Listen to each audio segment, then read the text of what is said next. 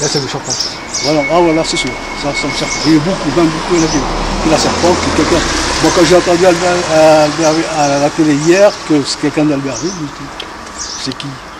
Et jusqu'à maintenant, on ne sait même pas. Enfin, moi, personnellement, je ne sais pas. Là, je sais pas. Vous ne connaissez pas spécialement. quoi. Non.